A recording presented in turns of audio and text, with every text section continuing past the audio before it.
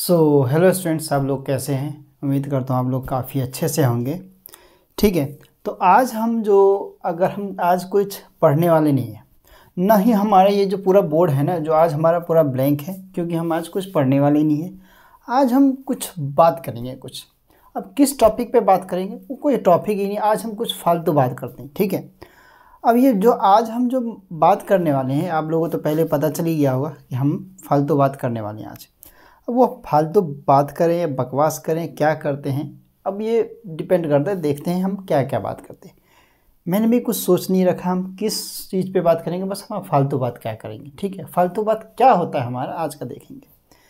देखो, मैं बहुत सारा ऑब्जर्वेशन करने के बाद, ठीक है, ये वीडियो बना रहा हूँ, ठीक है? इसलिए पहले कह रहा हूँ, इस वीडियो को ना शुरुआत से अंत तक पूरा देखना, ठीक है? एक एक पॉइंट को ध्यान से सुनना, ठीक है?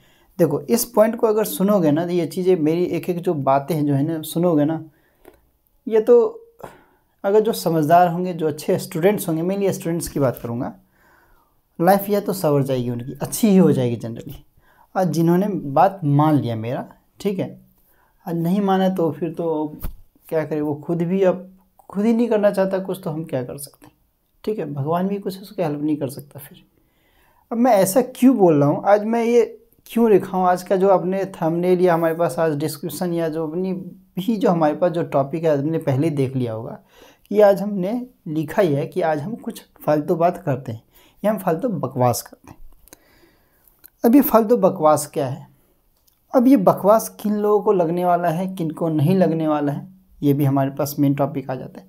देखो, ये फालतू बकवास उन लोगों को लगने वाला है, ठीक है, उन लोगों को, यानी कि स्टूडेंट्स को मेनली लगने वाला है जिनका पढ़ाई में एक परसेंट भी ध्यान नहीं है। एक परसेंट भी नहीं है। किसी का है, एक दो परसेंट, ठीक है, कोई दिक्कत नहीं। लेकिन जिसका बिल्कुल ही ध्यान नहीं है, उनके लिए हमें लिख कर कहा जाए। अब मैं ऐसी बातें क्यों कर रहा हूँ? ठीक है? क्योंकि मेरे पास भी कुछ स्टूडेंट्स ऐसे हैं, ठीक है? मैंने उनमें ये ऑब्ज़र्व किया है ध्यान से। पता नहीं वो उनको ये पढ़ाई से इतना दूर क्यों भागते मुझे ये तो सबसे पहली बात ये समझ नहीं आता कि वो पढ़ाई को लेके इतना दूर क्यों भागते हैं। कोई भी चीज़, चाहे वो टेस्ट हो रहा हो या नोट्स दे रहा हो या कोई कुछ समझा रहा हो कोई भी चीज़ से रिलेटेड, वो दूर भागना शुरू करते हैं।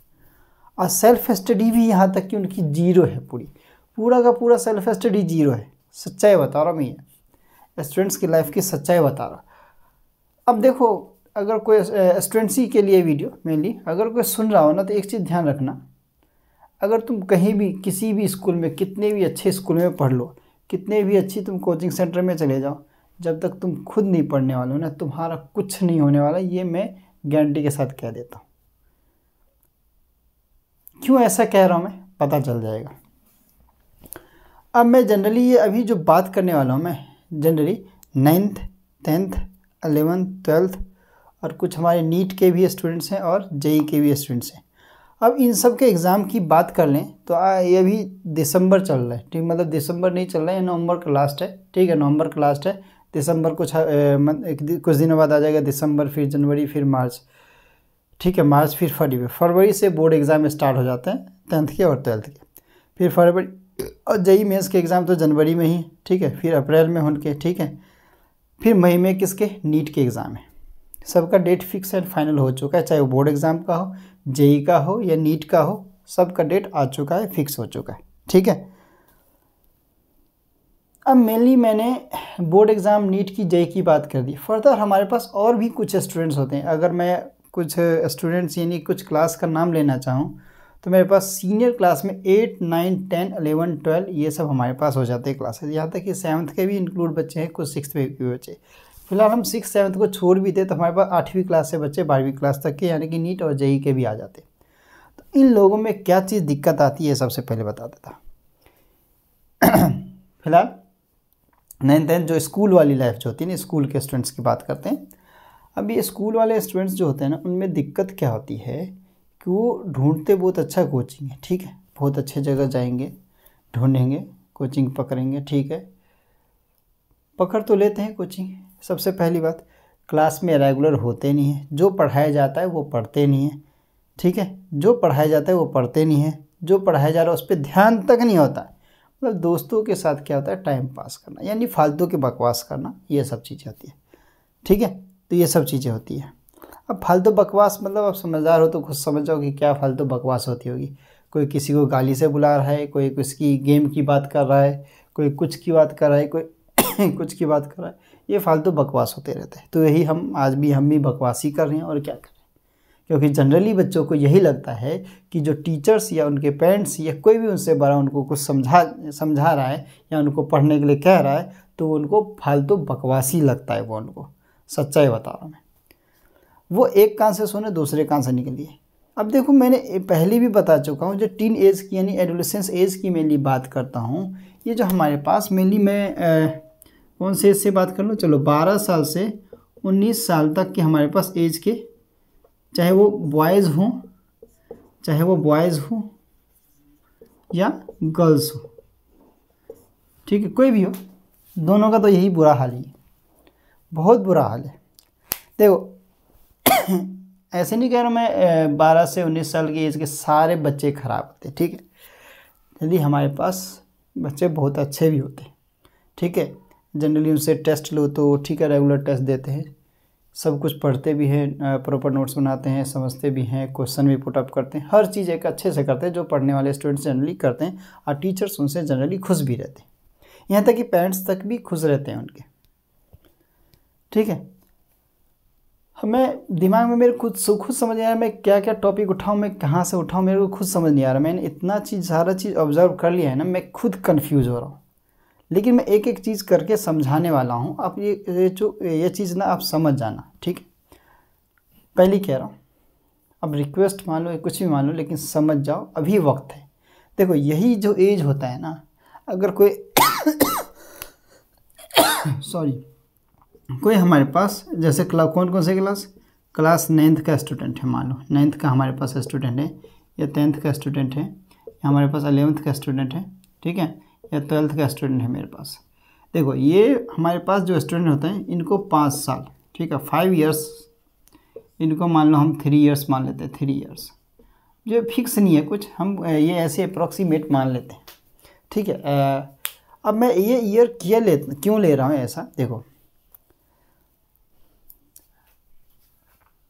ये generally ninth tenth eleven twelfth के बच्चे होते हैं जनरली नाइन्थ टेंथ के हमारे पास स्टूडेंट जो होते हैं वो प्योरिटी एज में एडोलिसेंस एज में एंटर कर ही रहे होते हैं ना तो एंटर कर ही होते हैं, खासतौर से बॉयज़ और गर्ल्स की। गर्ल्स में थोड़ा कम देख रहा हूँ गर्ल्स गर्ल्स तो आजकल थोड़ा एक्टिव हो गई पढ़ने में, पढ़ती में भी ध्यान देती है, ठीक है?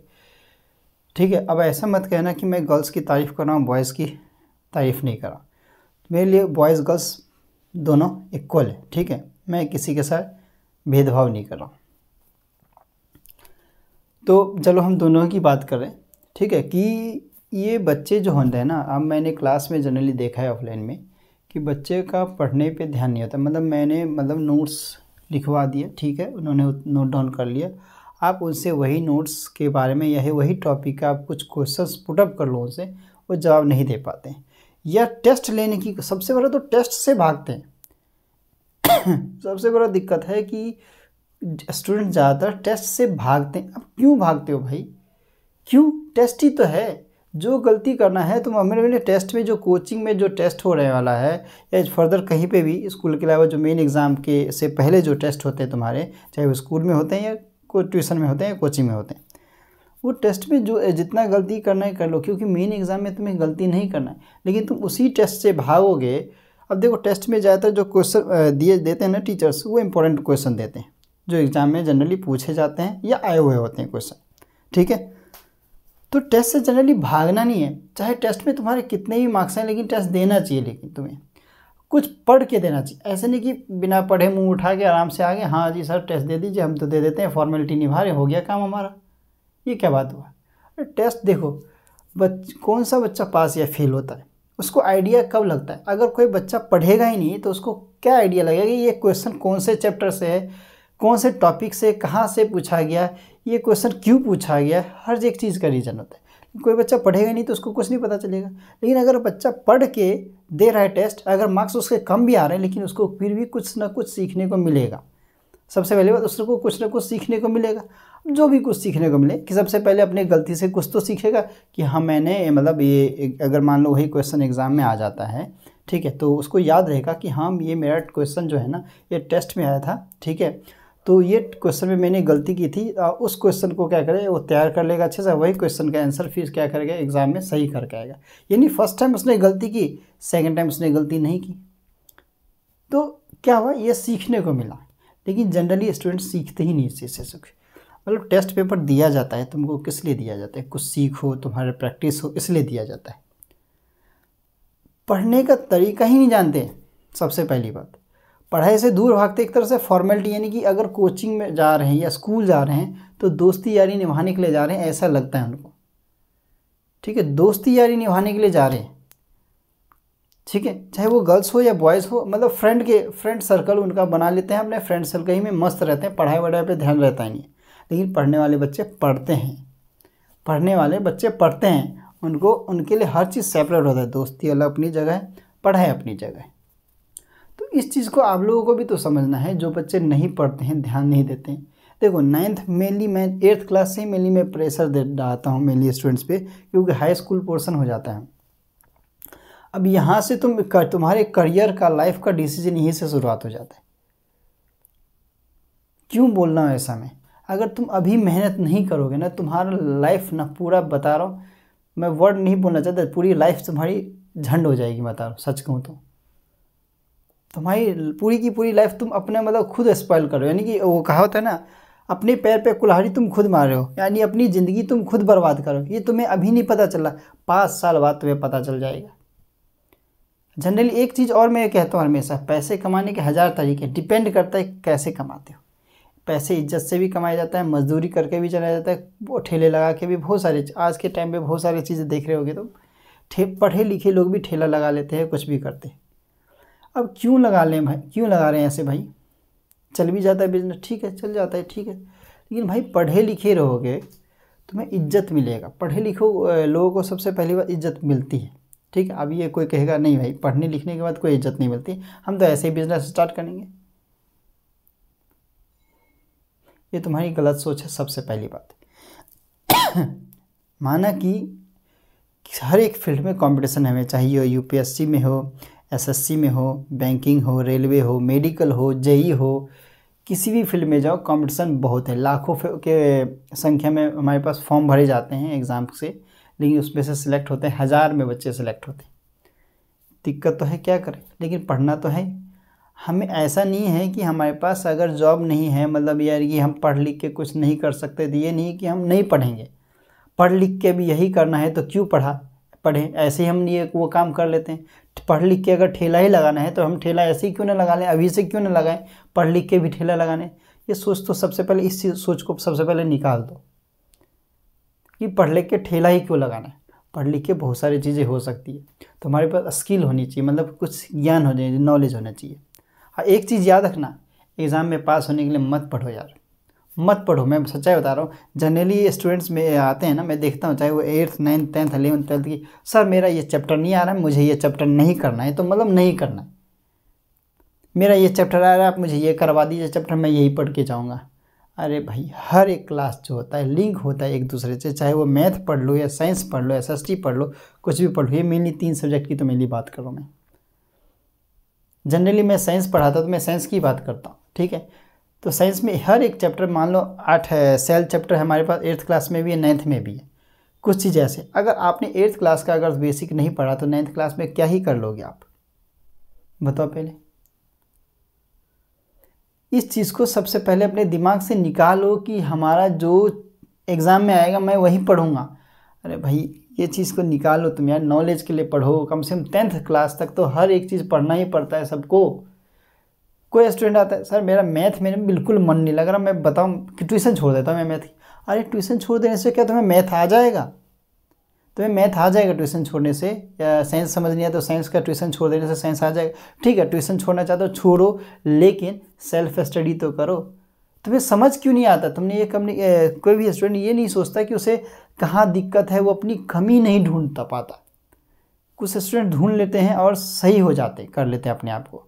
लेकिन ज़्यादातर स्टूडेंट्स क्या होता है, अपनी कमी नहीं ढूंढ पाते। अब किसी को मैथ नहीं आ रहा, समझ साइंस नहीं आ रहा, अरे कहाँ पे समझ नहीं आ रहा है तुमको? कौन सा टॉपिक समझ नहीं आ रहा है? तो इस चीज़ का ढूँढने का उस चीज़ को आप अपने टीचर से पूछो। अब अगर टीचर आपको समझा रहा है, हर एक चीज़ करवा रहा है, आप खुद ही घर पे जाके मेहनत नहीं कर रहे हो सेल्फ स्टडी अगर तुम्हारा एक घंटे का भी नहीं है तो फ़ायदे क्या तुम्हारे पढ़ने का? अगर पढ़ लिख के अगर सोच रहे होगे तो देखो, सीधी बात अगर मैं कहूँ ना, देखो, ऐसे पढ़ाई मत करो। ऐसे पढ़ाई करने से अच्छा पढ़ाई छोड़ दो तुम, क्योंकि अपने पेरेंट्स का तो मतलब अपने मम्मी पापा का तो पैसा बर्बाद कर ही रहे हो तो वैसे ठीक है, जितनी भी फ़ीस हो, हज़ार, पाँच सौ छः हज़ार, जितनी भी फ़ीस हो जाती है तुम्हारी, वो पैसा अगर तुम्हारे पेरेंट्स बचा ले तो उनके बुढ़ापे में कुछ काम आ जाएगा। करके अगर तुम्हें मान लो, पर मंथ एक सब्जेक्ट का फाइव हंड्रेड फ़ीस दे रहे हैं, यानी वो एक पेरेंट्स तुम्हारे तुम में पैसा इन्वेस्ट कर रहे हैं कि आगे जाके तुम्हारी लाइफ अच्छी हो जाए। हर कोई हर एक पेरेंट्स जो होता है ना, हर पेरेंट्स जो होता है ना, यही चाहता है कि उसका जो बच्चा जो है, उन्होंने जितनी कष्ट भरी लाइफ जी है ना, यानी उन्होंने कितना जितना कष्ट झेला है ना, उनके बच्चे उतना कष्ट न झेलें और उन्होंने पढ़ाई नहीं की है तो कम से कम उनके बच्चे पढ़ लिख के कुछ बन जाए ज़िंदगी में। हर एक पेरेंट्स का ये सपना होता है। ड्रीम होता है। लेकिन ये बच्चे मानने को तैयार नहीं होते स्टूडेंट्स मेरे लिए। उनको हर एक चीज़ मज़ाक लगता है। पता नहीं क्या मतलब मतलब पूरी ज़िंदगी ही मज़ाक बना के रखा हुआ है तुम लोगों ने यार।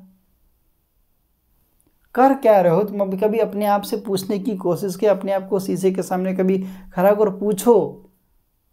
कर क्या रहे अपनी ज़िंदगी के साथ? अपनी ज़िंदगी बर्बाद कर रहे हो। बोलते हैं ना, अपने पैर पे कुल्हाड़ी मारना, अपनी ज़िंदगी खुद बर्बाद कर लेना, वही कहावत हो रहा है तुम लोगों के साथ। मेरे पास कुछ स्टूडेंट ऐसे हैं। मैं पीछे इसी साल की अप्रैल की बात कर रहा हूँ। नाइन्थ क्लास की बता रहा हूँ। मेरे पास कुछ स्टूडेंट्स ऐसे थे जो आए थे, बहुत अच्छे थे पढ़ने में। धीरे धीरे वो उनका संगत होता है ना, संगत यानी दोस्ती यानी फ्रेंड सर्कल उनका ऐसा पकड़ा कि वो इतने ज़्यादा बेकार हो गए ना, पढ़ाई में पूछो ही मत। मैं किसी का नाम नहीं लूँगा। अगर वो देखेगा ये वीडियो तो उसको पता चल जाएगा कि उसी के बारे में बात कर रहा हूँ मैं। ठीक है? जनरली मैं सच्चाई बता रहा उनके घर से कॉल आता है। सर, आपको जो करना है करिए, लेकिन इसको कुछ पनिशमेंट दीजिए, इसको सुधारिए। ठीक, अब बड़े बच्चे होते हैं नाइन्थ टेंथ के भाई एलेवन ट्वेल्थ के, उनको मार पीट सकते भी नहीं हम। खुद ही मारने में नहीं अच्छा लगता, सच्चाई बता रहा हूँ, मारने पीटने में नहीं अच्छा यार, एक तो आर्टिकल नंबर सत्रह में हमारे पास ऐसे भी है, कानून आ गया है, मैं आर्टी छोड़ो आर्टिकल आर्टिकल की बात करनी, कहते मैं एक्चुअल में मारना ही नहीं चाहिए बच्चों को, सच्चाई कर रहा हूँ। क्या है, डंडा अगर टीचर तुम्हें मारता है टीचर को खुद हाथ में चोट लगता है। सच्चाई बता रहा लेकिन कुछ नहीं, बस हम गलती करेंगे। अरे, तुम पढ़ोगे सही टाइम पे, सही से पढ़ोगे तो तुम्हें कोई टीचर क्यों माने, मारेगा भाई?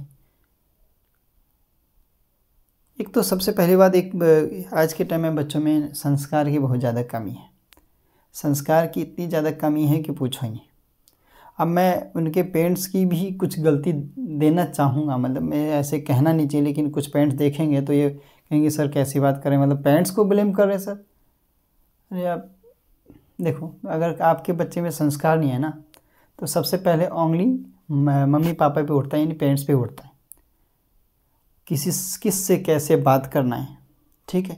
कैसे बिहेव करना है ये मम्मी पापा नहीं सिखाएँगे, यानी पेरेंट्स नहीं सिखाएँगे, बच्चों को तो कौन सिखाएगा? टीचर्स भी सिखाएँगे, ठीक है और बात है, मैं बात कर रहा हूँ, हम ये सिखाते हैं, ठीक लेकिन मातृभाषा कहा डेफिनेशन हिंदी व्याकरण में अगर कहा जाता है तो मातृभाषा क्या होता है? मातृभाषा वो भाषा भाषा होता है जो बच्चा अपने माता पिता से बचपन में सीखता है, वही तो मातृभाषा होता है। तो संस्कार भी कौन सिखाएगा? मम्मी पापा तो सिखाएगा। आज के टाइम में जनरली पेरेंट्स छोटे बच्चों की भी बात अगर आ जाए तो देखा मोबाइल दे देते हैं।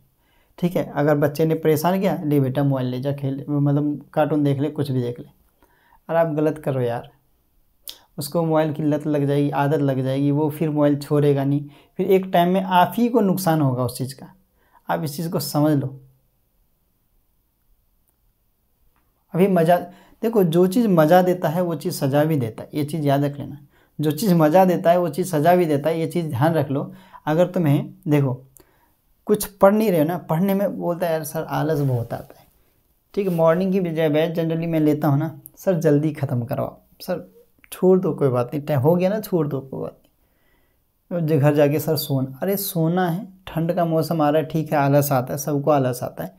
यही आलस को तो दूर करना है। स्टूडेंट लाइफ में आलस का कर, की जगह नहीं होनी चाहिए। तुमको कितने छः घंटे, पाँच से छः घंटे की नींद सफिशियंट है तुम्हारे लिए। सर टाइम मैनेजमेंट नहीं हो पाता, मैं क्या करूँ? स्कूल से आता हूँ, ठीक है मतलब खाना खाता हूँ, नींद आ जाती है, सो जाता, अरे सो जाते हो, ठीक है। ठीक है, उठ जाओ, फिर ट्यूशन हो जाता है, फिर स्कूल का होमवर्क करता तो मैं पढ़ूँ कब? कब पढ़ूँ? मेरे पास टाइम ही नहीं मिलता। स्कूल का काम ही इतना होता अरे स्कूल का काम तुम्हारा बर्डन यानी बैकलॉग क्यों होता है? तुम लोगों का सबसे पहले जानते हो? तुम डेली का काम डेली कंप्लीट नहीं करते हो, सबसे पहले दिक्कत ये हो जाती है। तुम्हारे स्कूल का काम या ट्यूशन का काम, जो भी काम मिल रहा है, अगर डेली का डेली कंप्लीट करने लग जाओ ना, जब भी टाइम मिलता है तो करो। ऐसा नहीं कि पढ़ते रहना पढ़ते रहना खेलना नहीं सब कुछ का टाइम मैनेज करना चाहिए हमें। ठीक है? अब अब टीवी देखने बैठ गए, भैया, अब तुम टीवी में कोई कार्टून देख रहे हो, कोई मूवी देख रहे हो, कुछ देखने बैठ गए, तुमने सोचा था, मैं आधे घंटे देखता दस मिनट, अब वो आधे घंटा तुम्हारा कब, एक दो घंटा में कन्वर्ट हो जाएगा, तुम्हें पता ही नहीं चलेगा। नाइन्थ टेंथ एलेवन ट्वेल्थ ये बच्चे मूवी देखेंगे। वीकेंड पे हो सके तो देख भी ले हो लेकिन हर रोज़ की बात स्कूल जब खुला रहे, तब के टाइम में मूवी तो तुम्हारे पास तो टाइम ही नहीं है। तुम्हारे पास तो टाइम ही नहीं है। वक्त देखो, तुम्हारे पास मेली टेंथ वाले और ट्वेल्थ वाले खासतर से तुम्हारे पास टाइम है, खुद सोच लो, विचार लो। तुम्हारे दिसंबर में प्री बोर्ड है। अब फरवरी के मिड से स्टार्ट है तुम्हारे बोर्ड एग्ज़ाम थोड़ा दिमाग, सोचो ना तुम्हारे पास देखो, ब्रेन सबका एक जैसा होता है। कोई जीनियस पैदा नहीं होता, सच्चाई बता रहा हूँ। जो जितना हार्ड वर्क करता है ना, उसको रिज़ल्ट भी उतना ही अच्छा मिलता है। सीधी बात, सच्चाई बता रहा हूँ। अब देखो, तुम्हारी ज़िंदगी तुम्हारी खुद के हाथ में या तो ज़िंदगी सवार लो, या तो बिगाड़ लो। डिसाइड खुद कर लो क्या करना है। मेरा काम था समझाना, तुम्हारे मम्मी पापा का काम होता है समझाना। अब सारा चीज़ तुम्हें होल्ड करना है। जनरली क्या होते हैं, कुछ बच्चों का टेस्ट लो ना तो टेस्ट से भागते क्यों भागते वो टेस्ट से? क्यों भाई टेस्ट ही तो है। सज़ा तो नहीं मिल रही तुम्हें। टेस्ट जो टीचर बना रहा है, उसको भी मेहनत लगता है टेस्ट पे। अगर ऐसा हो ना, तुम्हारे फॉर्मेलिटी होता है, कुछ टीचर करते हैं टेस्ट वेस्ट नहीं लेते। फॉर्मेलिटी क्लास में आए, ठीक है, बच्चे आए तो ठीक है अटेंडेंस लगी, अपना पढ़ा लिखा टेस्ट नहीं लेते। लेकिन टेस्ट जो सही टीचर होता है, वो टेस्ट लेता है। टाइम टू टाइम हर चैप्टर जनरली कराने के बाद टेस्ट लेता है, देखता है कि बच्चे ने कितना पढ़ा है, कितना इम्प्रूवमेंट हुआ है, नहीं हुआ है। कुछ बच्चे तो टेस्ट टेस्ट से ही भागते हैं।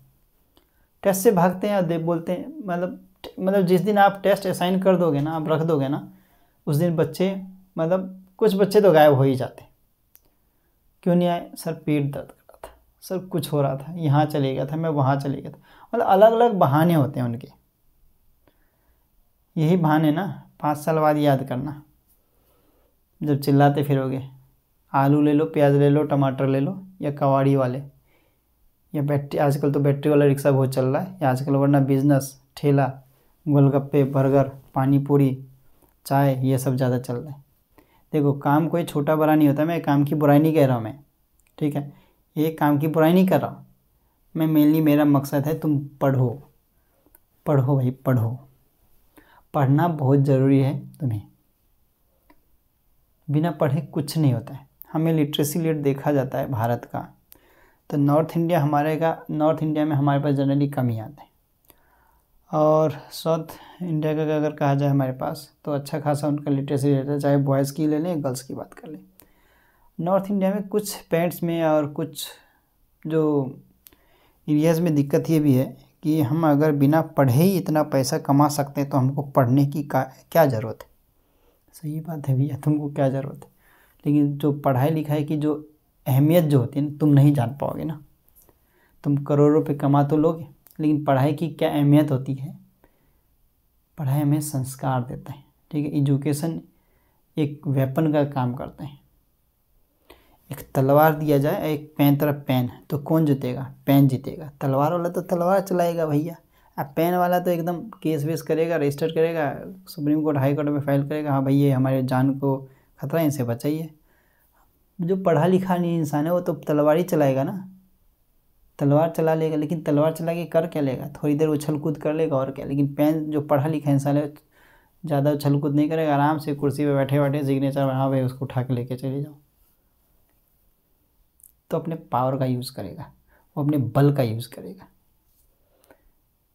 हमें यहाँ से नहीं, यहाँ से स्ट्रांग बनने की ज़रूरत है। ऐसे दोनों तरफ़ से स्ट्रांग होना चाहिए हमें, बुद्धि से भी, दिमाग से भी और यहाँ से भी। कहावत, वो कहानी अक्ल बड़ी है, भैंस। ठीक है, जो पढ़े लिखे नहीं है, वो तो यही करेंगे, भाई, भैंस बड़ी होती है, दिमाग तो इतना छोटा होता है, भैंस तो इतनी बड़ी होती है। देख लो कुछ बच्चे का अब एक याद आ गया। कुछ बच्चे ऐसे भी हैं कोचिंग सेंटर में, मैं जनरली मेरे पास ही हैं ऐसे, मैं, मेरे पास भी कुछ ऐसे स्टूडेंट हैं, एक आधी ही स्टूडेंट है ऐसे। उनकी फ़ीस टाइम पे आ जाती है, मंथ के शुरुआत में आ जाती है, ठीक है? लेकिन बच्चे, वो वो बच्चा ट्यूशन में तुम्हें एक दिन नहीं दिखेगा, एक आध दिन अटेंडेंस लगाने के लिए मंथ में आ भी जाए तो ठीक है, न टेस्ट में आएगा, ना कोई चैप्टर स्टार्ट करा लो, कुछ भी करा लो, नहीं आता वो। बस वो दिखाने के लिए घर से निकलेगा टाइम पे, ट्यूशन के टाइम पे कि हाँ मैं ट्यूशन जा रहा हूँ। ट्यूशन का फ़ीस भी लेके आएगा, जमा करेगा, जिससे टीचर्स उसके घर पे फ़ोन करके ना करें हाँ जी, आपका बच्चा ट्यूशन नहीं आ रहा है, ना ही आपकी फ़ीस जमा हुई है, ठीक है? इसलिए इसको फ़ीस जमा करवा देता है कि कम से कम एटलीस्ट मेरे घर पे कॉल ना जाए कि टीचर भी खुश रहे, हम भी खुश रहे, ठीक है? तो ये उनको ये बता दूँ कि भाई टीचर को तो तुम खुश कर रहे हो, यानी मुझे भी खुश कर देते हो, ठीक है, कोई दिक्कत नहीं है। लेकिन नुकसान अपना कर रहे हो। हम भी जनरली टीचर होते, मैं भी जनरली ऐसे स्टूडेंट्स को देखो, नहीं, मैं लेकिन कॉल करता हूँ ऐसे स्टूडेंट्स को, ठीक है। जनरली टीचर्स नहीं करते, लेकिन मैं ऐसे स्टूडेंट्स को भी कॉल करता हूँ, उनके घर भी कॉल कर सक, करता हूँ जनरली जहाँ तक मैं पहुँच सकता हूँ मैं हर एक स्टूडेंट्स को, मैं डंडा तक उठा लेता हूँ, सच्चाई बता रहा हूँ। ठीक है? मैं अगर मैं अगर बदनाम हूँ ना, मेरे पास स्टूडेंट्स ये देखो, मेरे पास दो ही स्टूडेंट्स जो सुधरने वाले होते हैं ना, या तो मेरे पास टिक के जो बिगड़े हुए रहते हैं, अच्छे से बिगड़े हुए रहते हैं, उनको मैं तो सुधार देता हूँ, एक आध डंडा वंडा लगा के, ठीक है? और जो एक आध बार पिट गया ज़्यादा कभी कल डंडा तेज़ लग जाता है तो क्या हो जाता है? बच्चे भाग भी जाते हैं, ठीक है?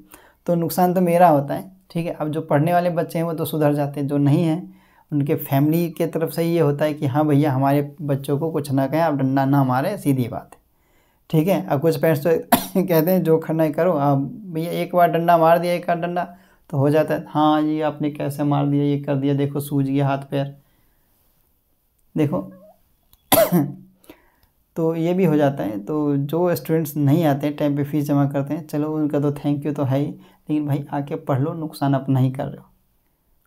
ठीक है, नुकसान अपना ही कर रहे हो। नुकसान तो अपना ही कर रहे हो। अब किस तरीके से नुकसान कर रहे हो ना, अब तुम अपना एग्ज़ाम देना, पता चल जाएगा रिज़ल्ट आने पे। ये मोबाइल चपका चमकाने से, फेट फेसबुक जनरली तो आजकल जो स्टूडेंट्स ने सोशल साइट्स पे इतने ज़्यादा एक्टिव हो गए ना। आलतू फालतू की चीज़ें देखते हैं, आलतू फालतू की चीज़ें बातें करते हैं वो जनरली इंस्टाग्राम फेसबुक क्या क्या मिलता है भाई? स्क्रॉल करके या चला के इंस्टाग्राम पे रील देख के या रील बना के, किसी की फ़ोटो पोस्ट करके या कोई चीज़ के देख के मिल क्या रहा है तुमको? कुछ बेनिफिट है? पैसे आ रहे हैं तुमको कुछ? कुछ भी मतलब या ये एज है तुम लोग की मतलब नाइन्थ टेंथ वालों को तो बिल्कुल ही इंस्टाग्राम फेसबुक ये सब नहीं चलाना चाहिए नाइन्थ टेंथ एट्थ वाले जो स्टूडेंट्स हैं। एक तो ये गर्लफ्रेंड बॉयफ्रेंड वाला जो चक्कर खेलते हैं ना, एक तो मुझे इस पर हँसी भी आती है।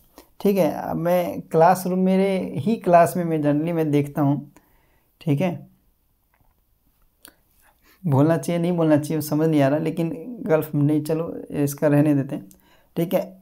उन्हें जो स्टूडेंट्स हैं, वो बोलेंगे, सर, क्या आप मतलब यूट्यूब पे वीडियो बनाते तो हमारी ही पोल खोल देते हो आप लोग? आप मतलब तो गर्लफ्रेंड बॉयफ्रेंड का ना जो खेल खेल रहे हो ना तुम लोग, ये खेल सफल नहीं होएगा तुम्हारा। ये इस एज में तो सही है। लेकिन आगे जाके तुम्हें पछतावा होगा, सर पीटोगे, बता रहा हूँ, कोई पाँच साल, ज़्यादा नहीं नाइन टेंथ वालों, पाँच साल सिर्फ़ तुम्हें सर पीटोगे दीवार पे। याद करोगे, एक संजय नाम के सर थे मतलब संजय नाम के सर एक हमारे पास, हमें पढ़ाया करते थे, समझाते भी थे, बहुत अच्छे सर थे, लेकिन हमने उनकी बात आज नहीं मानी। और हम क्या देख रहे हैं? सर पीट रहे हैं आज, पछतावा हो रहा है। अभी मैं कहीं जा रहा था ठीक है, मैं मज़ाक नहीं उड़ा रहा, मैं किसी का, कुछ स्टूडेंट्स को मैं आइडिया बता रहा हूँ कि ये कैसा होता है ना पढ़ने वालों के साथ। एक दोस्त दूसरे दोस्त से कह रहा है, वो बंदा ठेले पे कुछ बेच रहा था, आलू प्याज या आलू या प्याज कुछ बेच रहा हुआ था। मैंने ध्यान से नहीं देखा क्योंकि मैं तेज़ी के साथ जा रहा था, ठीक है। तो एक दोस्त उससे से यार, तुम क्या आलू प्याज बेच रहा है तू? वेल्डिंग का काम सीख, उसमें पैसा बहुत है। अब देखो, एक दोस्त दूसरे दोस्त को सिखा भी क्या रहा है? क्योंकि उसी दोस्त ने तो उसकी ज़िंदगी बर्बाद की। और उसको सिखा भी रहे, अरे वेल्डिंग का काम सीख ले। वेल्डिंग के काम में पैसा बहुत है। यही चीज़ अगर उसको स्कूल लाइफ में अगर उसने उसको ये बताया था कि भाई, पढ़ ले, तू भी पढ़ ले, मैं भी पढ़ लेता हूँ। दोनों भाई अच्छा सा बिज़नेस करेंगे पढ़ लिख के या अच्छी खासी नौकरी करेंगे, यू की तैयारी करेंगे, या डॉक्टर इंजीनियर कुछ बनेंगे। मतलब ये इसमें आगे ही बता रहा हूँ। तो आज ये आइडिया से, यानी कि ये, उसे आइडिया देने की ज़रूरत नहीं पड़ती कि वेल्डिंग का काम सीख ले। वेल्डिंग बहुत पैसा है। मतलब क्या क्या मतलब क्या ही कहूँ मैंने कुछ जने को देखता हूँ ना तो मेरे समझ नहीं आता। उस दिन मैंने एक, छोड़ो यार, मैं किसी का मज़ाक, ऐसे लग रहा होगा, मुझे खुद लग रहा है कि मैं मज़ाक कर रहा हूँ किसी का। नहीं बोलूँगा मैं इस बारे में, छोड़ो। अब देखो, पढ़ने वाले हैं ना, पढ़ने वाले बच्चे संभल जाएँगे। अब पढ़ना शुरू कर देंगे।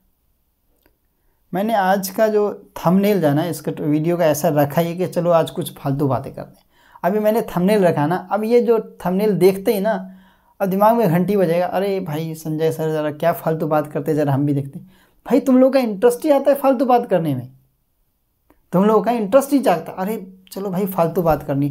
पढ़ाई के बाद में तो झूठ नहीं बनेगा, लेकिन फालतू जहाँ बात हो रही हो ना, वहाँ पे अरे देख, क्या फालतू बात हो रही है भाई, किस बारे में बात हो रही है चलो हम भी सुने हम भी कर लेते, थोड़ा सा कंट्रीब्यूट कर देते हैं मतलब बातें। मतलब पढ़ाई में कंट्रीब्यूशन ज़ीरो ज़ीरो है। ठीक है? पढ़ाई में कंट्रीब्यूशन तुम्हारा ज़ीरो है, तुम्हारी ग्रोथ तक ज़ीरो है।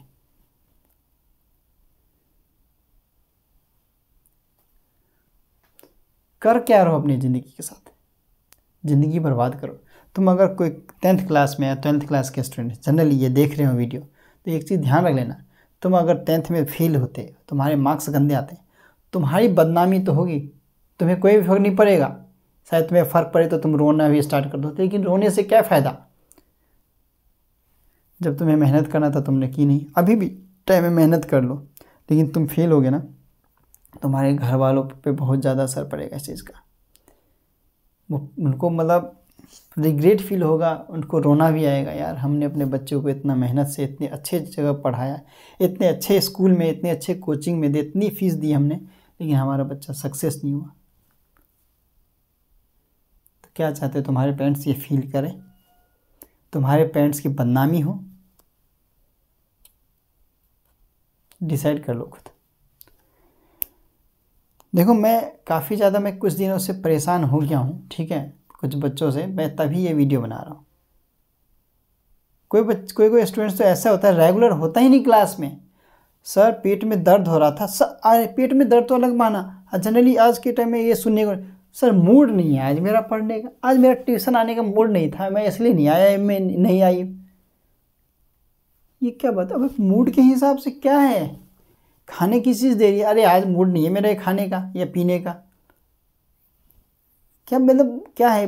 खाने पीने की चीज़ है जो मूड के हिसाब से करोगे? पढ़ने की चीज़ है भाई।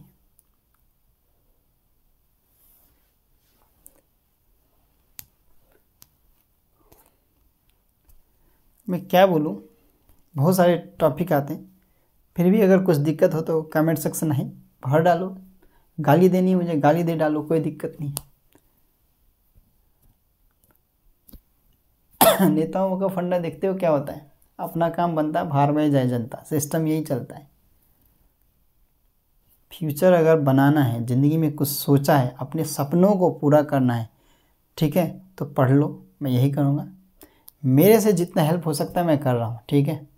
मैं ऑफलाइन में भी यही कह रहा हूँ ऑनलाइन भी मैं यही कह रहा हूँ यूट्यूब पे, कि मेरे से जितना हेल्प हो सकता है, ठीक है? मैं फ़ोन नंबर तक दे चुका हूँ एक वीडियो में, ठीक है? मैं पहले कह रहा हूँ, मेरे से जितना हेल्प हो सकता है, मैं करूँगा। किसी को दिक्कत हो सकता है कमेंट सेक्शन में कमेंट कर देना, जो भी दिक्कत है, चाहे तुम्हारी पॉजिटिव हो नेगेटिव हो I don't care about it ठीक है? मुझे कोई फ़र्क नहीं पड़ता इससे। पढ़ने वाले बच्चों के साथ मैं हमेशा रहता हूँ, ठीक है? ये जनरली जो बच्चे पढ़ रहे हैं ना, उनके सब, उनको पता है। जो दो साल पहले मेरे पास स्टूडेंट थे ना, पढ़ने वाले थे ना, उनके साथ में अभी भी मेरी बातें होती हैं उन लोगों के साथ। लेकिन जो पढ़ने वाले हैं, अरे, उनको तो मैं पूछता भी नहीं हूँ। मैं इग्नोर मार देता हूँ उनको। वो क्या इग्नोर मारेंगे मुझे? मैं इग्नोर मारता हूँ उनको। देखो, आगे भी क्या है नाइन्थ टेंथ ये जो क्लास में मेहनत कर लोगे ना, आगे वही तुमको मेहनत कम करना पड़ेगा। टेंथ तक का मेनली अगर मैं कहूँ तो टेंथ तक का जो कोर्स होता है ना सिक्स सेवन्थ एट नाइन्थ तक का अगर किसी को ये कोर्स स्ट्रांग हो जाए यहाँ पर चाहे science S S T math generally और इंग्लिश ये सब स्ट्रांग हो जाए इनका तो ये S S C banking railway ये सब एग्ज़ाम जो होते हैं ना इजली निकाल पाएँगे। ठीक है? रीजनिंग वीजनिंग फिर बाकी आ जाती है अलग बात है। चाहे नीट की ए, देखो अब साइंस साइड ना अब साइंस साइड की अगर मैं अभी नीट वाले की बच्चों की बात नहीं करा ठीक है? तो मैं जनरली मैं टेंथ नाइन्थ टेंथ वालों की ये बात कर रहा था। मैं इसलिए कहूँगा रिक्वेस्ट करूँगा नाइन्थ टेंथ एलेवन ट्वेल्थ वालों से कि भाई पढ़ लो, कुछ ज़िंदगी में करना है तो ये बात करने से या फालतू का टाइम पास करने से गेम खेलने से कुछ नहीं होने वाला। हाँ जनरली एक बच्चा आगे कह रहा, सर वे एक गेमर बना टॉपर ठीक है, मैंने कहा, भाई सोचने की बात है, फिर एक गेमर टॉपर बनी गया बोला, सर, हमें भी बनना है। मैंने कहा गेम भी खेलते हो तुम? हाँ सर, मैं गेम तो खेलता हूँ। लेकिन मैंने कहा कि तुम गेम तो खेल लेते हो, लेकिन पढ़ने में तुम तुम पूरा ज़ीरो हो, ये बताओ क्या करना है फिर? बोला, सर, बात तो सही है, मैं पढ़ने में ज़ीरो हूँ, लेकिन गेम में खेलता हूँ। तो मैंने कहा, क्या करना है? बोला कि उसने रिस्पॉन्स ज़्यादा नहीं दिया मतलब छोड़े रिस्पॉन्स न दिया। ठीक है, फिर कह रहा है, सर, ठीक है, अब दूँगा पढ़ाई पे ध्यान। हम देखते हैं, हम भी कितना पढ़ाई पे ध्यान देता है। देखो हर चीज़ अपनी जगह होता है। प्राइमरी चीज़ तुम लोगों का होना चाहिए, अभी पढ़ना ही होना चाहिए। टाइम मैनेजमेंट तुम लोगों को सीखना है। अगर टाइम मैनेजमेंट नहीं कर पा रहे हो तो मुझे एक मैसेज करना या कमेंट बॉक्स में कमेंट करना। मैं टाइम मैनेजमेंट के ऊपर भी एक वीडियो लेके आऊँगा, ठीक है? तो बताऊँगा कि टाइम मैनेज कैसे करना चाहिए। स्कूल के हिसाब से सुबह के मतलब स्कूल के हिसाब से और तुम्हारे स्कूल नहीं है, उसके हिसाब से छुट्टी जिस दिन है, उसके हिसाब से, हर चीज़ के हिसाब से। ठीक है? ये चीज़ की बात। अब मेनली मैं नीट और नीट और जेई की बात करूँ ठीक है? नीट एग्ज़ाम की और जेई की, जेई मीन्स की। ये 2024 में दो देने वाले स्टूडेंट्स एन टी ऑर्गेनाइज करवाता है। तुम लोग एक चीज़ ध्यान रखना। तुम लोगों के दो हज़ार तेईस का जो लिस्ट देख लेना कितने स्टूडेंट्स ने फॉर्म भरे थे नीट के। इक्कीस लाख के करीब फॉर्म भरे गए थे। सीट कितनी है? एक लाख भी सीट नहीं है। एक लाख भी सीट नहीं है। तो कौन से, किस बच्चे का एडमिशन होगा? और सब कैटेगरी बटी हुई है। S C S T O B C ठीक है? आर्मी कोटा अलग, फिर अदर फर्दर पता नहीं कौन कौन से कोटा हो जाता है। पी डब्ल्यू डी कोटा आ जाता है। ई डब्ल्यू एस आ जाता है। देखो, अगर कोई एस सी एस टी में या ओ बी सी या कोई भी कैटेगरी में आता है ना, उसको तो ये सोचना ही नहीं चाहिए कि हाँ भाई मैं सी का हूँ एस टी का हूँ, मैं तो इतना मार्क्स ले आऊँगा ना तो मेरा सिलेक्शन हो जाएगा। अरे भैया, सबसे पहले तो अपने दिमाग से ये चीज़ ही निकाल दो कि तुम आरक्षण कैटेगरी में हो। नहीं, हो तो ठीक है कुछ में नहीं है, वो तो बाद की बात है सेकेंडरी चीज़ है। लेकिन अपने दिमाग से ये चीज़ निकाल दो। तुम्हें रैंक लाना है, तुम्हें अगर इज़्ज़त चाहिए, नाम कमाना है तो तुम्हें रैंक लेके आना है। ठीक है?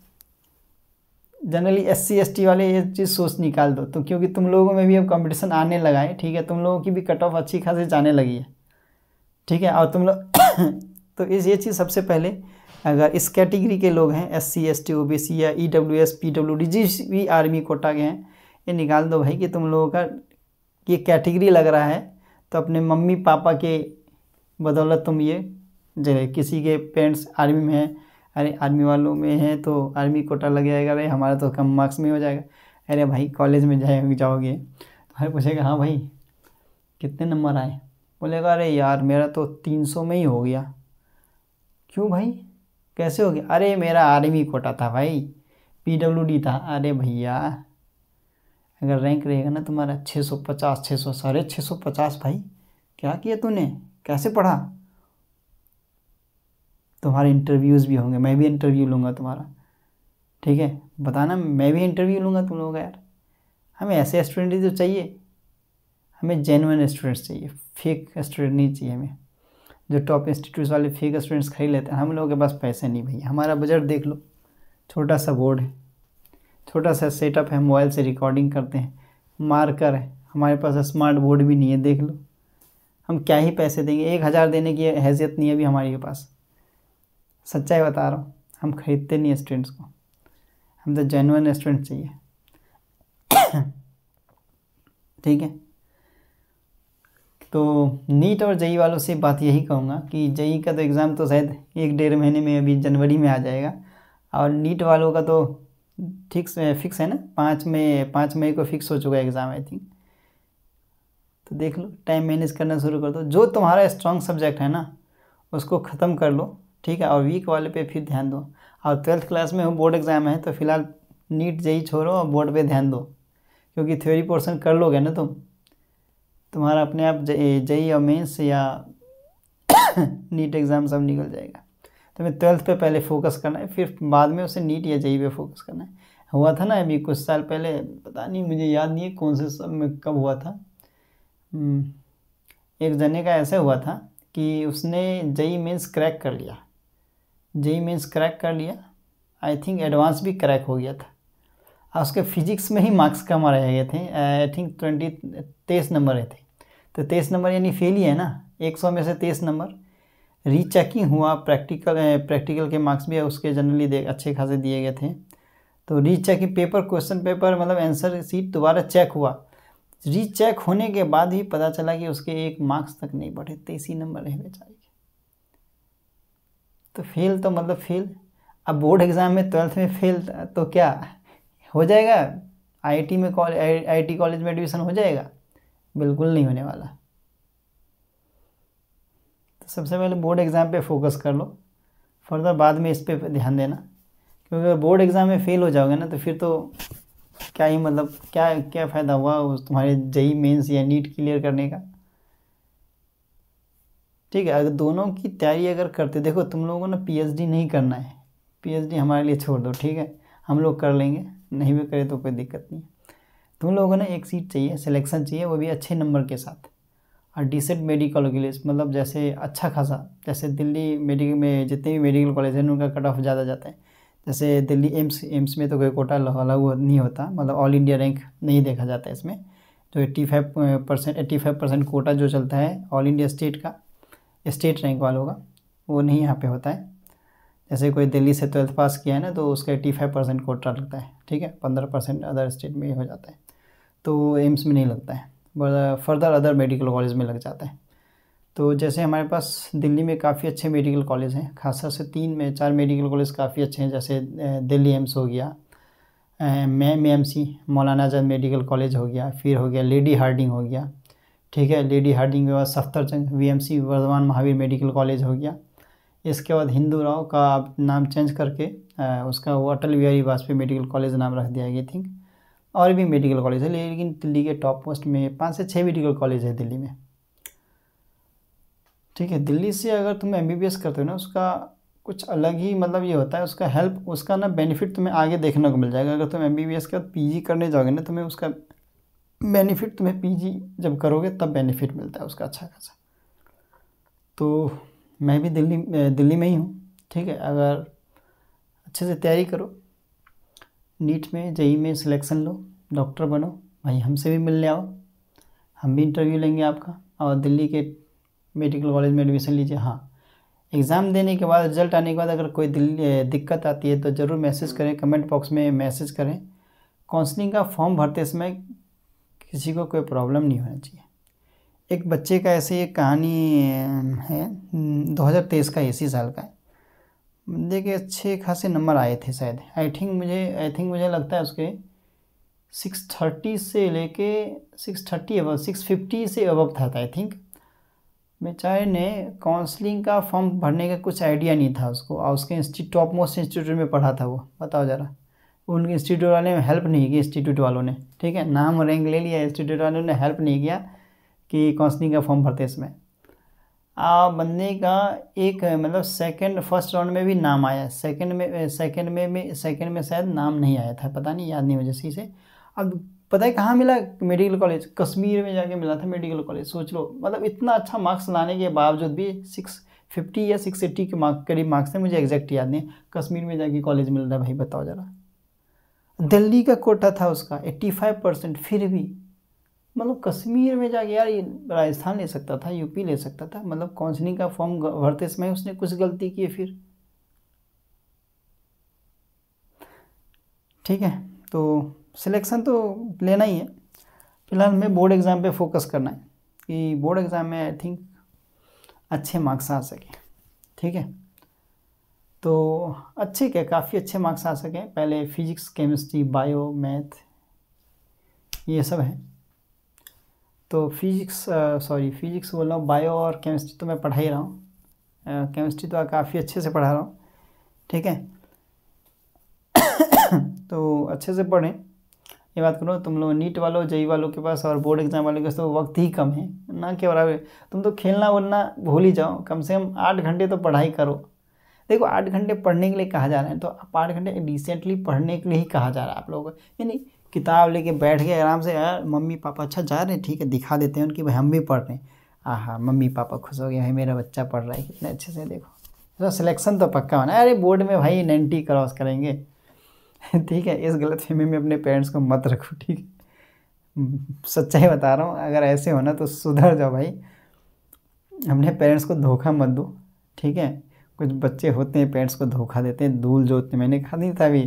एक टेंथ नाइन्थ के कुछ स्टूडेंट्स ऐसे हैं जो टाइम पे फ़ीस आ जाती है, लेकिन ट्यूशन आते नहीं। ट्यूशन आने के टाइम पे वो पता नहीं ट्यूशन ना के कहीं और चले जाते हैं। कहाँ जाते पता है? बताने की ज़रूरत है। भाई वो पता है ना डिब्बा डिब्बी का खेल गर्लफ्रेंड बॉयफ्रेंड तो भाई वो गर्लफ्रेंड को टाइम दिया होता है।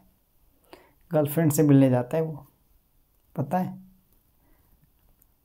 अब वो गर्लफ्रेंड तो भाई ठीक है गर्लफ्रेंड भी, वो लड़की का जो बाप है वो भी उसके लड़के से शादी उसका क्यों, कब करेगा पता है इसमें उसको भी अच्छी खासी सैलरी होगी, एक पैसे कमाएगा तो। ठीक है? ये चीज़ याद रखना। हाँ एक चीज़ तो भारत देश में अब क्या ही कहूँ मैं। ठीक है, यहाँ के नेता नेता लोग। मैं ज़्यादा नहीं बोलूँगा, पता चला है वीडियो पे कुछ कांड हो गया फिर। तो नेताओं का फंडा यही चलता है, अपना काम बंदा बाहर में जानता है भारत देश में ना जितने भी बड़े हैं ना, पैसे के लिए भूखे हैं भाई, सब सच्चाई बता रहा हूँ। पैसा है तो सब पहचानेंगे, वरना कोई नहीं पहचानेगा। ठीक है? ये चीज़ याद रखना। गलत, चाहे किसी भी तरीके से, गलत तरीके से आज लोग पैसा कमा रहे हैं। बहुत सारे लोग ऐसे हैं, गलत, बहुत गलत तरीके से पैसे। आज भारत देश में सट्टेबाजी खुलेआम मतलब सट्टेबाजी पे को प्रमोट कर रहा है। चाहे वो फ़िल्म एक्टर्स हों क्रिकेटर्स हों खुलेआम प्रमोट करें, पता नहीं क्या है भाई। गलत डायरेक्शन में, यही गलत डायरेक्शन में जा रहे अपन उनके बच्चे तो भाई विदेश जा रहे हैं लंदन पेरिस पता नहीं कहाँ कहाँ, वो एमआईटी पढ़ने जा रहे हैं हार्वर्ड यूनिवर्सिटी जा रहे हैं अलग अलग टॉप क्लास के वर्ल्ड के यूनिवर्सिटी में जा रहे हैं, लेकिन इधर मिसगाइड कर रहे हैं कुछ। तो यही काम है ना, अपना काम बनता है बाहर में जाए जनता। सिस्टम यही चल ही रहा है। तो वक्त कम है, अपने एग्ज़ाम की तैयारी करो। कौन क्या कह रहा है इस पर ध्यान मत देना समझ गए? कौन क्या कह रहा है इस पर ध्यान मत देना, ठीक है? क्योंकि दुनिया वाले तो कहते ही बहुत कुछ है। देखो, जब तुम सक्सेस की तरफ़ जाओगे ना सक्सेस की तरफ़ तुम जाओगे, तुम्हें गिराने वाले बहुत आएँगे, ठीक है? सक्सेस अगर तुम कुछ तरक्की या कुछ अच्छा काम करने जा रहे हो ना, तुम्हारा पैर पकड़ के खींचने की कोशिश करेंगे मतलब ये कहावत है, खींचने की कोशिश, नीचे गिराने की कोशिश करेंगे तुम्हें। क्योंकि वो खुद आगे नहीं बढ़ सकते तो दूसरे को आगे बढ़ना देना भी नहीं चाहते बढ़ने देना भी नहीं चाहते। ठीक है? लोग अपनी खुशी से इतने खुश नहीं आज के टाइम में, जितना लोग दूसरों के खुशी से दुखी हो गए। सच्चाई बता रहा हूँ, अगर मैं अगर आगे सक्सेस कर रहा हूँ ना तो मेरे आसपास जितने भी, चाहे मेरे रिश्तेदार हो या कुछ तो मेरे सक्सेस से वो टेम्प्रोरी सामने में दिखाएँगे कि हाँ भाई, हम बहुत खुश हैं। लेकिन अंदर ही अंदर उनकी तो अच्छे से जल रही होगी, मिर्च लग रही होगी उनके। अरे कैसे कर लिया भाई ये? वो कैसे गया कुछ दिन तो बंदे की हालत बिल्कुल ही ख़राब थी। कैसे कर लिया इसने? वैसे तुम्हारी पढ़ाई के साथ साथ तुम पढ़ोगे ना तो ऐसे कहेगा भाई पढ़ लो यो अगर तुम्हारे एग्ज़ाम में अच्छे नंबर अरे भाई बहुत अच्छा पढ़ता था भाई दिन रात रात को देखता था जागा रहता था पढ़ता था, था। अरे तुम सक्सेस नहीं है ना अरे भाई। पढ़ता ही नहीं था दियावारे कर दी करता था भाई। कैसे हो जाएगा सक्सेस एक्चुअल में उनका मन भी नहीं होता कि तुम सक्सेस हो। ठीक है? तो एक चीज़ और याद आया था अभी। क्या याद आया था? कि हाँ देखो, जब हम वो आगे बढ़ते आगे जाते हैं, अगर तरक्की करते हैं तो बहुत कुछ हमें, बहुत लोग हमें गिराने के लिए आते हैं। जब इंसान मर जाता है तो लोग कंधा देने आते हैं, तब उठाने के लिए आते हैं, बताओ। जब ज़िंदा रहने में नहीं उठाया, लेकिन मरने के बाद लोग उसको उठाने के लिए आते हैं सोचने सोचने की बात है ये तो। तो यही बोलूँगा, पढ़ लो थोड़ा। टाइम मैनेजमेंट सीखो, बहाने मत बनाओ। देखो जनरली पढ़ने वाले बच्चे बहाने नहीं बनाते। मेरे पास जनरली कुछ बच्चे बहाने बहुत बनाते हैं। क्लास में ना ऐसे एकदम टुकुर टुकुर देखते रहते हैं। और बस कुछ क्वेश्चन पूछ लो तो अच्छा ठीक है। लेकिन ये टीचर्स की गलती बहुत निकालते हैं बताए छोटे बच्चे जो होते हैं ना जनरली वो गलती निकालते जैसे मैं अगर मान लूँ, आज ही की बताऊँ, मैं कुछ लिख रहा था, ठीक है? तो मैंने कुछ लिखा तो बच्चे ना टीचर्स की गलती, सर, गलती हो गई आपसे। सर, आपको इंग्लिश नहीं आती ना, सर?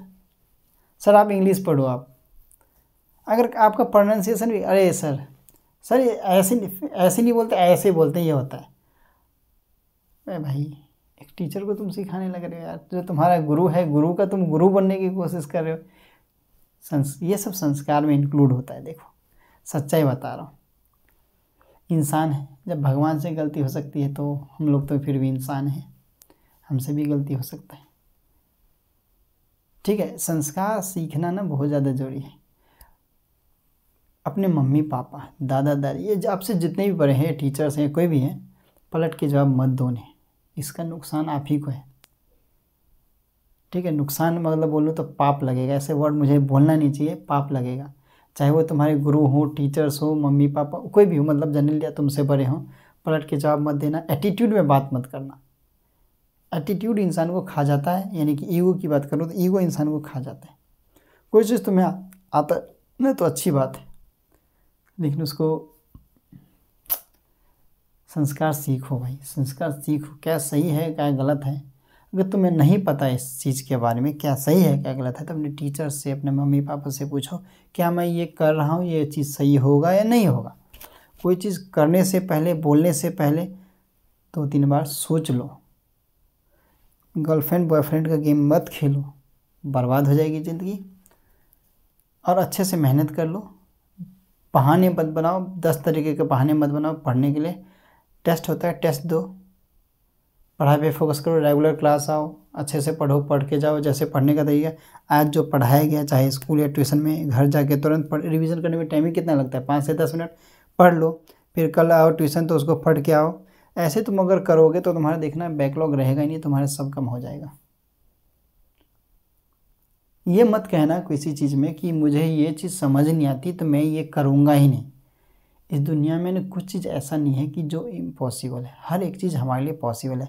बस ज़रूरत है तो हमें मेहनत करने की या उसमें पागलपन लाने की। क्या चीज़ इम्पॉसिबल कुछ नहीं इम्पॉसिबल इम्पॉसिबल वर्ड भी कहता है इम्पॉसिबल कहा है ना, कुछ कर ऐसा कि दुनिया बनना चाहे तेरे जैसा। तो कुछ हमारे पास महान लोग हैं, महात्मा गांधी, डॉक्टर भीमराव अंबेडकर अभी दो दिन पहले ही गया हमारा आज़ादी संविधान दिवस गया डॉक्टर भीमराव अंबेडकर और भी हमारे पास बहुत बड़े बड़े नेता हैं हमारे पास। नेता भी कह लो, उनको लीडर्स कह लो, बहुत बड़े बड़े पढ़े लिखे विद्वान लोग थे। रविन्द्रनाथ टैगोर की बात कर लो, डॉक्टर भीमराव अंबेडकर की बात कर लो, बाबा साहेब भीमराव अंबेडकर की बात कर लो, कितने पढ़े लिखे थे। डबल एम ए पढ़े, देख लो एजुकेशन कितना इम्पोर्टेंट है। तुम कहीं जाओगे पढ़े लिखे हो ना तो कहीं पेन ही जाओगे चला के। छैनी हथौड़ी तो नहीं चलोगे ना भैया? समझोगे कब इस चीज़ को? समझो, अभी समझ लो, वक्त रहते समझ लो। पाँच साल बाद ऐसे सर पीटने की ज़रूरत ना पड़े तुम्हें। ये वीडियो लंबा ज़रूर हो रहा होगा। मुझे पता है कि हमारे पास मेरे घड़ी में रात को बना रहा हूँ। बारह पचपन हो रहे हैं। अब पता नहीं कितने देर का वीडियो है। शायद एक घंटा, चालीस मिनट, आधा घंटा, कुछ भी हो सकता लेकिन इस वीडियो को देखना ज़रूर पहले पूरा। कुछ मैं बोलते बोलते मैं ज़्यादा बोल देता हूँ जनरली क्योंकि पता है, मेरे से ज़्यादा इंसान नफ़रत ही करते हैं। मेरे से जनरली इंसान नफ़रत क्यों करते हैं मैं बताता हूँ। मेरे को सच बोलने की आदत है। और जो इंसान समझदार है, नफ़रत नहीं। मेरे पास आता है, बैठता है, कोई चीज़ समझता है। मैं समझाता हूँ। मैं अच्छे इंसान के लिए अच्छा हूँ, बुरे इंसान के लिए वो बुरा हूँ। ठीक है, ये चीज़ याद रख लो। तुम उनको भी किसी मैं किसी और को खुश करने नहीं आया हूँ, ठीक है? बस सीधी बात, सच्चाई बताऊँ, मेरे को किसी और को खुश करने से मतलब नहीं है। मैं जो करने आया हूँ, मैं कर रहा हूँ और करूँगा, ठीक है? मैं भला करने आया हूँ। सबका अच्छा सोचता हूँ। अब मैं सोचूँगा सबका भला करूँगा। चाहे वो अगर फाइनेंशियल हो सके तो फाइनेंशियल करूँगा, चाहे मेरी बॉडी से या एजुकेशन से जैसे हो सके, मैं वैसे करूँगा। लेकिन मैं हेल्प करूँगा। लोग यही तो नहीं देखना चाहते। ठीक है, फ़िलहाल हम यहाँ पे बात कर रहे थे। तो बहाने मत बनाओ, पढ़ाई पे ध्यान दो, बस एक ही बात कहूँगा। कुछ दिक्कत हो तो ये फालतू का बकवास वाला वीडियो देख लेना ज़रूर, ठीक है? फिर भी कुछ दिक्कत रह जाता है तो कमेंट करना। ठीक है, फालतू को बकलोलबाजी जिसे कहते हैं, वो तो आपको करने में मज़ा ही आता है। और थोड़ा आलस छोड़ो, स्टूडेंट लाइफ में आलस नहीं होनी चाहिए। सब में आती आलस, हमें भी आती आलस, लेकिन क्या करें? अभी बारह बजे, रात को एक बजे, एक बज रहे हैं। अगर आपको यकीन नहीं हो रहा देख लो। ठीक है, एक बज रहे हैं। अगर मैं अरे आलस आ जाती, मैं सो जाता तो क्या मैं ये वीडियो बना पाता? नहीं बना पाता क्या मैं आप लोगों की हेल्प कर पाता? नहीं कर पाता। ठीक है, तुम लोग वीडियो पे लाइक करो, ना करो, ठीक, मुझे अब कोई फ़र्क नहीं पड़ता। मैं सच बता रहा हूँ। जिसकी किस्मत अच्छी होगी ना ये वीडियो ना उसके पास अपने आप पहुँच जाएगा। ठीक है? वो ऊपर वाला है ठीक है? मैं कितना भी कुछ कर लूँ ना, कुछ नहीं होगा जिसकी किस्मत ही अच्छी होगी, वही ये वीडियो देखेगा। जिसको अपनी ज़िंदगी में कुछ करना होगा, जिसके सपने, जिसको अपने सपने पूरे करने होंगे। और मैं क्या कहूँ? कुछ तो बोलने के लिए बचता तो है नहीं अब। फिर भी अगर कुछ होगा तो बता देना कमेंट सेक्शन में। अगर मैं कुछ भूल गया हूँ तो कमेंट सेक्शन में ही बता दूँगा। क्योंकि हम तो कुछ प्रॉब्लम कमेंट सेक्शन में भी सॉल्व करते हैं। ऑफलाइन बच्चों के लिए तो मैं अवेलेबल हूँ ऑनलाइन वालों के लिए तो मैं कमेंट सेक्शन में कमेंट कर सकते हैं। चाहे ऑफलाइन वाले भी कर सकते हैं, ऐसी बात नहीं अगर किसी को आमने सामने बात करने में शर्म आती तो। कुछ चीज़ों से, फालतू की चीज़ों से दूर रहो, ठीक है? दूसरी गल, दूसरों की गलती मत निकालो, अपनी गलती सुधारो, ठीक है? एक उंगली किसी की तरफ़ करोगे ना, चार उंगली तुम्हारी तरफ़ खुद होगा, याद रख लेना। चलो, किसी की गलती सुधारते हो तो वो भी अच्छी बात है। हमें किसी का गलती यानी किसी को डायरेक्ट करना चाहिए। वो कहावत है ना I can only advise you but not conduct you तो ये चीज़ है। और थोड़ा घमंड को ईगो को एटीट्यूड जो भी है, ये सबको त्याग दो। ये लो एटीट्यूड इज़ ए ग्रेटिट्यूड क्षमा, कोई चीज़ को हेल्प करता है। प्लीज़ ठीक है please word thank you word ये दो वर्ड को ना अपनी ज़िंदगी में डाल मतलब ये कर लो, अपनी ज़िंदगी में लेके आओ। कोई कुछ तुम्हारी हेल्प करता है तो थैंक यू कुछ करता तो please no word negative words को आने मत दो। ठीक है, और क्या कहूँगा मैं? कहने के लिए कुछ वर्ड्स कभी काल कम पड़ जाते हैं। फिर मैं बोलते बोलते बहुत कुछ बोल गया हूँ। किसी को कुछ बुरा लगा हो, किसी की, किसी का नाम तो ऐसे मैंने नहीं लिया है तो उससे मैं पहले हाथ जोड़ के ही माफ़ी मांग लेता हूँ। पहले अगर किसी को कुछ बुरा लगा हो मेरी बात से अगर ठेस लगी हो कुछ किसी के मन को दिल को दिमाग को किसी को भी। लेकिन यार झूठ कितने दिन बोलोगे तुम? झूठ के सारे कितने दिन जियोगे तुम? ना पढ़ के तो अपना ही नुकसान कर रहे हो ना। अपने मम्मी पापा से टीचर से अपने आप से अपने आप से और भगवान से तो झूठ नहीं बोल सकते ना तुम। तुम्हें तो पता है ना कि तुम झूठ बोल रहे हाँ, एक झूठ छुपाने के लिए हमें सौ झूठ बोलना पड़ता है तो तुम्हें पता ही है। सच का रास्ता अपनाओ, यही कहूँगा।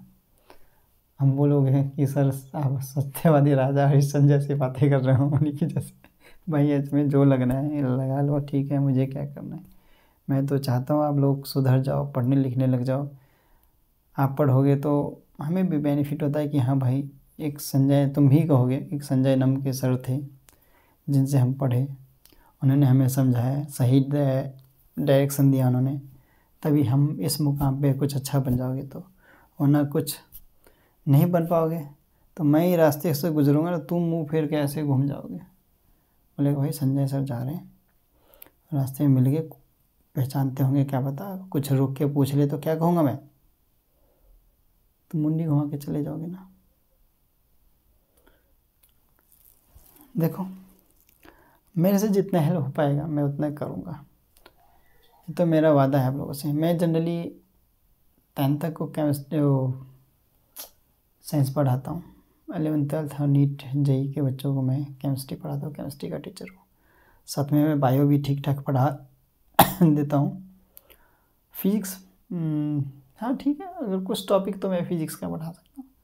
सारे नहीं, कुछ टॉपिक लेकिन केमिस्ट्री बहुत अच्छे से पढ़ाऊँगा, ये चीज़ याद रख लेना केमिस्ट्री और हो सके बायो भी पढ़ाऊँगा अच्छे से। तो ये दो सब्जेक्ट में तो आप लोगों को टेंशन लेने की ज़रूरत नहीं है, और साइंस वाले तो साइंस में। ये जनरली जो हमारा ये जो वीडियो लेक्चर जो आएगा, हमारे दो चैनल हमें जनरली ठीक है, एक नीट वाले स्टूडेंट्स के लिए टारगेट इजोटैमी नीट प्लस बोर्ड है। एक है टारगेट इजोनैमी स्कूल प्लस बोर्ड है। तो दो चैनल पे ये वीडियो आएगा। ठीक है। अब जिसके पास पहुँच जाए वीडियो मैं तो ऐसे लिंक शेयर कर दूँगा। ना जिसके पास पहुँच जाए वीडियो तो अच्छा है, वो तो मैंने पहले ही कह दिया जिसका किस्मत अच्छा होगा, वही ये वीडियो पूरा देखेगा। ठीक है? लाइफ चेंजिंग वीडियो समझ लो ये कुछ भी कह लो। मुझे तो लगता है लाइफ चेंजिंग वीडियो है। क्योंकि मैं बहुत कुछ बोल चुका हूँ इस वीडियो में। देख लो। अब मैंने बहुत फालतू बकवास की है, अपना टाइम वेस्ट किया है आप लोगों के लिए। ठीक है? तो अब देखते हैं, ये मेरा आज का जो टाइम जो है मैंने, एक घंटा जो भी मिनट मैंने दिया है इस वीडियो को, ये मैंने टाइम वेस्ट किया है या फ़ायदा किया है? वो लोग डिसाइड आप लोग करोगे, देखते हैं कितने लाइक्स आते हैं कमेंट्स आते हैं, इस पर डिपेंड करता है। ठीक है? तो ज़्यादा लेंदी नहीं करूँगा इस वीडियो को, और यहीं पे समाप्त करता हूँ। तो फिर मिलते हैं हम किसी नए वीडियो या लेक्चर के साथ, या किसी मोटिवेशनल वीडियो के साथ, या किसी फालतू वाले वीडियो के साथ। ठीक है, तब तक के लिए thank you and good bye